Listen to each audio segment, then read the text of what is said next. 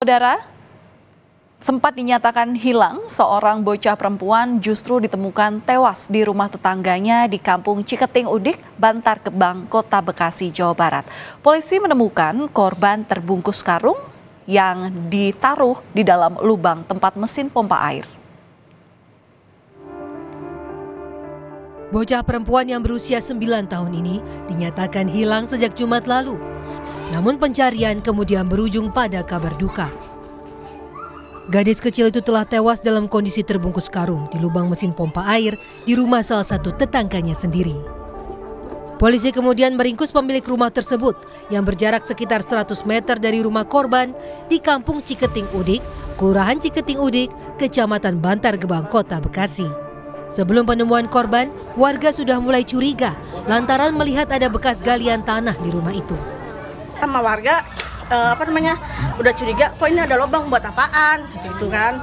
Ditanya ini buat sepiteng pak. Gitu. Kok sepiteng di dalam rumah? Emang kamu belum punya sepiteng? Saya mau ganti sepiteng. Kok ini kecil banget? Katanya gitu. Orang kecil sepitengnya.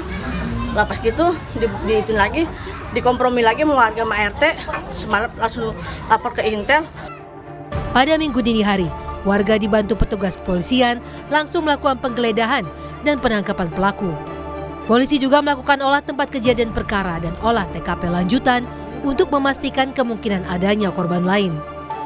Lokasi penemuan korban persis di uh, belakang rumah di dalam uh, galian tanah sedalam lebih kurang dua setengah meter. Di lubang mesin pompa air? Iya benar. Titik satu titik memang direncanakan si pelaku untuk menanam korban. Satu titik lagi kami duga itu ada uh, korban mungkin ada korban mayat lainnya namun kami sudah lakukan penggalian sedalam hampir satu meter namun tidak ditemukan di dalam rumah pelaku terdapat uh, media semacam uh, praktek dukun ini kami masih sedang dalami jenazah korban kini telah dibawa pihak keluarga setelah menjalani otopsi di Rumah Sakit Polri Kramat Jati, Jakarta Timur. Sementara pelaku masih diperiksa secara intensif dan kasusnya ditangani Polsek Bantar Gebang serta Polres Metro Bekasi Kota. Tim Liputan Kompas TV.